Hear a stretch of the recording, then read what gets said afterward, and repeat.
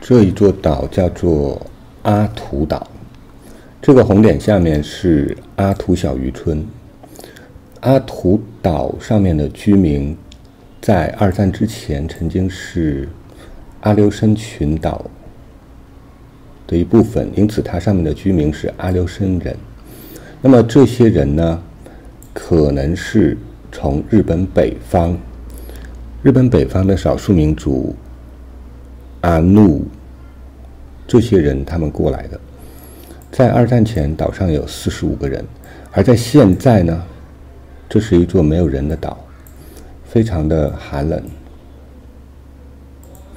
岛上很少有晴天，每年大约只有十个晴天。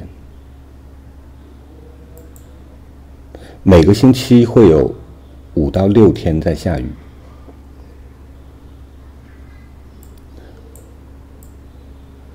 我们看到岛上的平均温度，下边这一个是摄氏度。经常最高的气温也是在十摄氏度以下的，也就是说，这是一座寒冷的岛。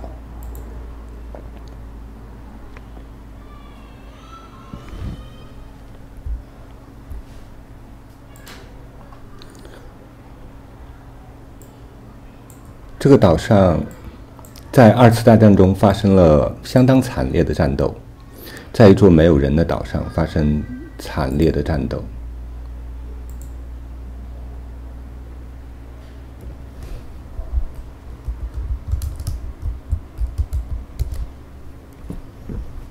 而现在还有美军军事基地的残骸。我们看一下，在这个小渔村的南边。阿图 Village，如果我们顺着山谷一直走过来，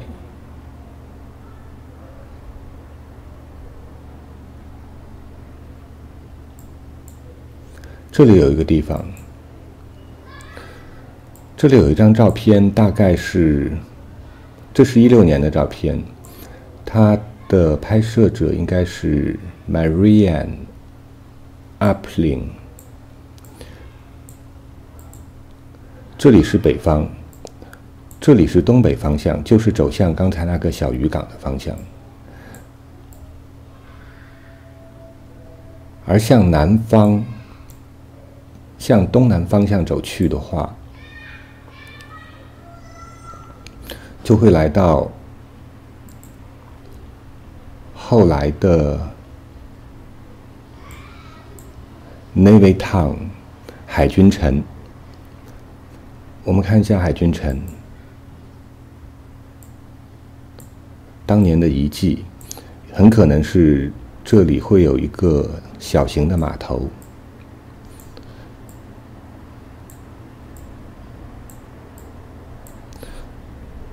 后边有一有一部 ATV。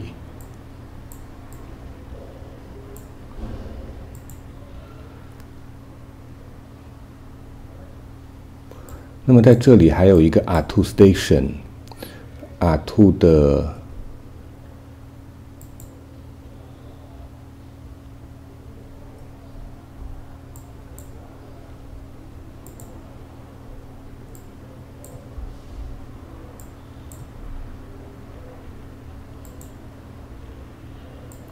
阿图 Station 留下的是残骸。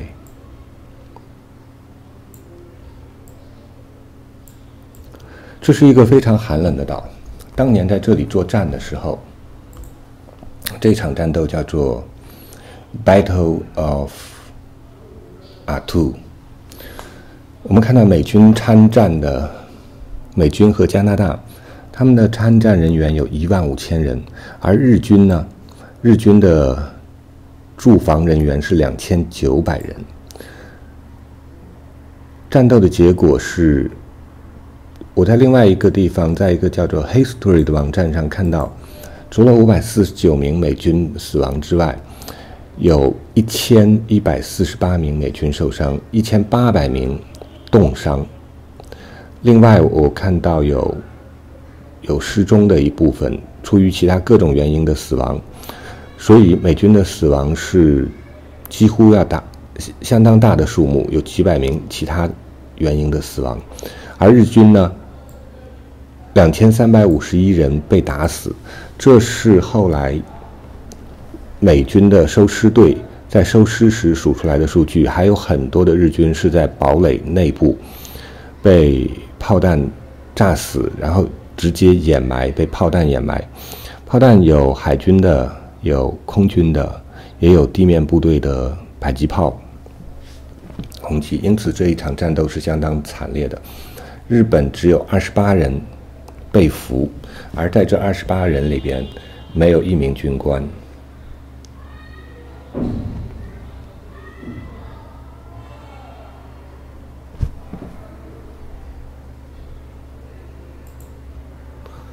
这是当年的一幅作战地图。美军从北边两个地点登陆，从南边的这一个叫做 m a s k Bay 屠杀海湾、屠杀湾登陆，然后南北一直前进，最后顺着山谷和山脊来到这一个叫做。Chichagof Harbor 就是刚才那个小渔村的位置，而日军的反击是沿着山山谷向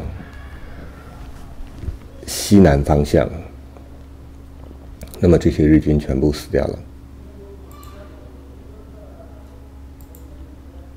这是当时的日本指挥官。后来日军在这里放了一个。纪念雕塑，这是在一九三七年拍到的小渔村。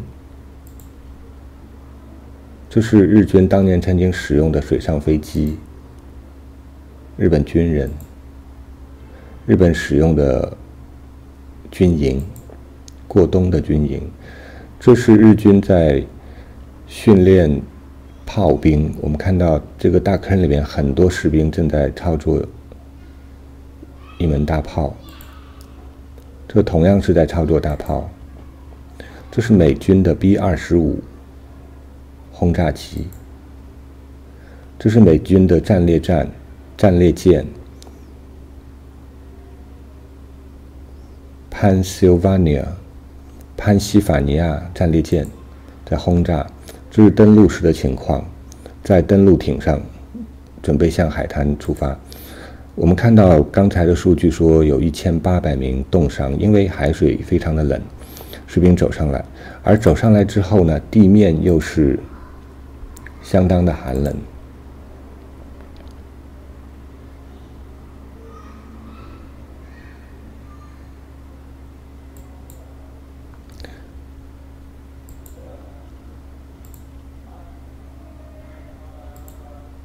因此，美军的服装并不合适，他们的皮靴可能不防水，大量的冻伤。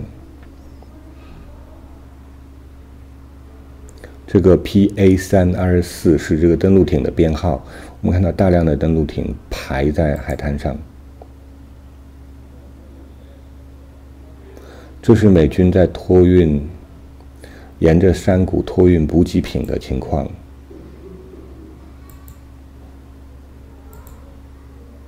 这是被打死的日本士兵。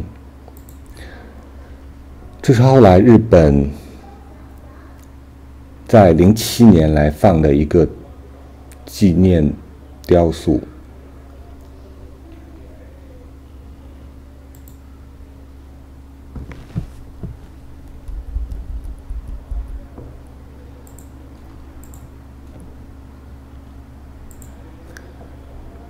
我们看到美军是在。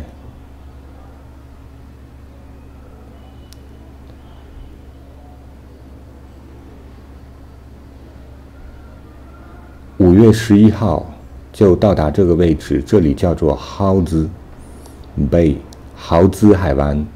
他到达了豪兹海湾的西部，而在另外一支从南方来的、从南方进攻的部队，在五月十四号也到达了这个山口，并且在五月十八号有一支部队穿过了 Jeremy 这个山山口。向北之后，那么日军是在向西南方向冲击，他们应该是沿着山脊挖了很多的工事，并且就据地防守，绝不投降。那么一直到五月三十号，美军才到达这一个刚才我们看到阿兔 Village 的地方。这里是阿兔 Station，就是那一支向西边探索的美军来到的地方。这些建筑已经被拆除了。这是一六年的照片，应该是美军后来在清除他们的垃圾，并且清除他们的污染的那些工作人员。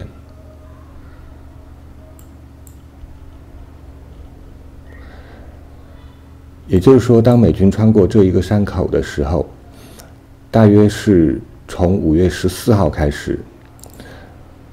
从这里向东北方向，就是连续不断的苦战。那么美军可能是就布置地面的炮炮火，他们有三方面的支援：空中支援、海面的支援和这个地面的炮火，逐渐的向日本人一个一个清除日本人的堡垒。日本人最后发动了一次天皇冲锋，就是不断喊着天皇。然后这样的冲锋，这种冲锋被称为 “banzai” 冲锋，就是他们的不断的喊着冲锋，用日语，呃，喊着“天皇万岁”这样一的冲锋。冲锋之后，这是一次最大的天皇冲锋，几乎所有的日本人都死了。那么。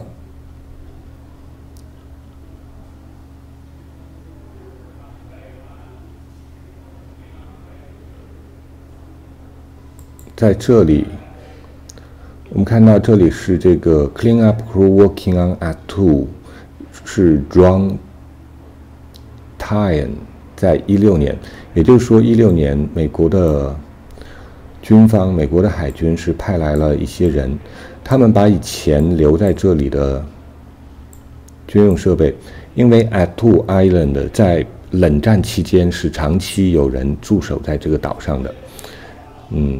并且有飞机定期的飞过来，看到这里有一个油桶，并且油桶早已经漏了，也就是说土壤都被污染。那么美军在这里是把所有的被污染的土壤都装在袋子里面带走，总共带走了一万多吨，把所有有可能留下污染的材料和这个物品都搬走，用船搬走。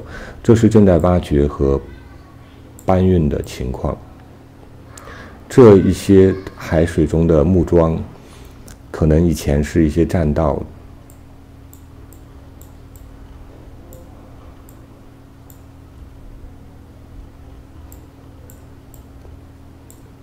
而在这里我们可以看到一架摄像机放在这里，一边操作一边摄像，就说美军是在这里做。后来一六年的时候来到这里做清洁。那么现在呢？这一座岛，我们刚才讲了，这一座岛是非常的寒冷，没有树，只有这些地表的植物，而且它是冻土结冻土的这个土壤结构，就是说它的地面之下是冻结的一层土，常年冻结的。这就是为什么当时美军在这里作战的时候，他们那么狼狈，他们的服装、他们的军靴完全不适应。那么，当日本人挖了堡垒，并且在很多地方挖了陷阱，如果美军士兵踩下去的话，如果正在向前跑的时候，他们踩到一个陷阱里面，这个陷阱并不太容易挖，因为这里的土壤，当时是在五月份，呃，可能已经有点解冻了，但是呢，地下面。如果是在冬天的话，日本人是在这里过冬的。冬天挖掘这些陷坑呢是非常艰难的。这是一座，这是一座每周只有五到六天的，每周可能有五到六天在下雨的一座岛。这么寒冷的一座岛，常年的下雨大雾。而这里的气候呢，常常可以从平静的气候突然转变成分数高达一百五十公里每小时的这种大风天气，降水量达到每年九百九十到一千两百四十厘毫米，所以这是一座非常恶劣的岛，气候非常恶劣，极难生存的岛。这是为什么当时？美军的作战如此艰难，而这一部分日军的话，可以想象他们的战斗是多么凶狠。在不到大约三千人的这支部队里面，竟然最后只有二十八名活了下来，被俘。可以想象，这二十八名俘虏大部分都是受伤无法行动的，没有一名军官。后来美军在这里修了机场，这个地方叫做 Navy Town 海军城。那么这一条机场的跑道，我们可以在地图上看到。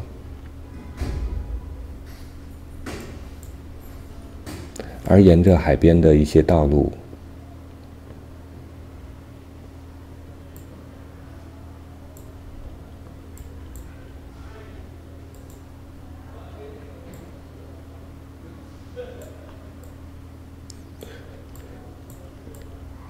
岛上还有一个特点是鸟类非常的多。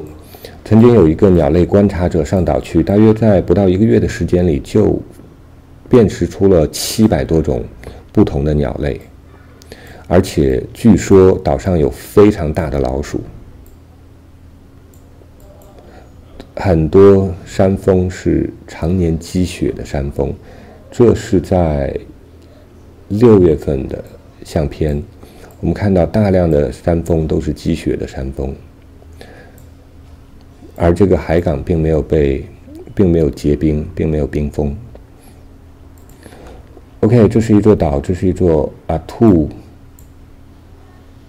它的名字叫做阿兔岛。二战中曾发生激烈战斗的一座岛，那么它的结，它是在阿留申群岛的尾巴上。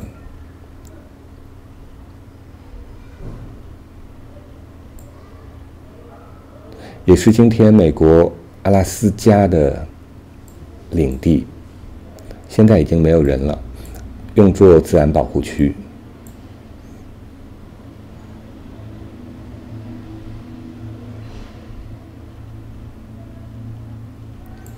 一座寒冷、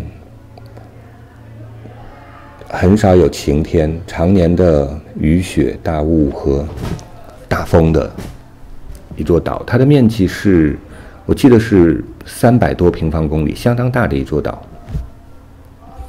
就到这里吧，谢谢。